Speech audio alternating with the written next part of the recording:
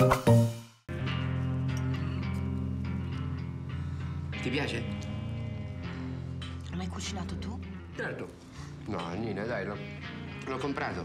Qui nel quartiere ormai è più facile trovare cibo esotico che, che una carbonara. Che poi non piace tanto neanche a me. Oh, ci ho provato. Ma tu ci campi con la musica? No, facciamo tutti un altro lavoro. Io, ad esempio, insegno in una scuola media. Vabbè, adesso sto in malattia. Non mi potrei permettere neanche questa casa se non me l'avesse lasciata mio padre. Bella tappezzeria. Io non posso smettere. Nel nostro settore la malattia non è contemplata. È tanto che lo fai? Due o tre anni. Non si guadagna bene. Ti fa schifo?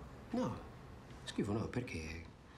Cioè, non capisco, però... Io non cioè, capisco come si possa lavorare tutti i giorni e fare tutti i giorni le stesse cazzate. Ma che c'entra, scusa Nina, c'è lavoro e lavoro. Ad esempio, a me insegnare ai ragazzi piace.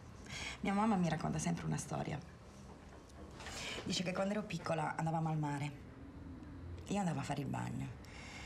Quando uscivo dall'acqua tutta bagnata, andavo sotto l'ombrellone e lì mi toglievo il costumino bagnato.